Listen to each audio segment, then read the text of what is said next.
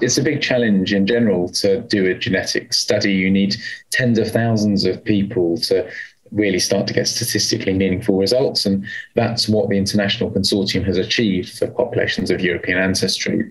So I think the main barriers really are the time and the money that it takes, but also possibly the prevalence of the disease. So until quite recently, MS was not being diagnosed in, or not being diagnosed nearly as much in populations of South Asian, African backgrounds. And so it's possible that there were simply not enough people to recruit for these studies. We know now it's becoming more common. And in fact, in the UK and the US, it's probably just as common among Black Americans, Black Britons, as it is in white Americans, white British people.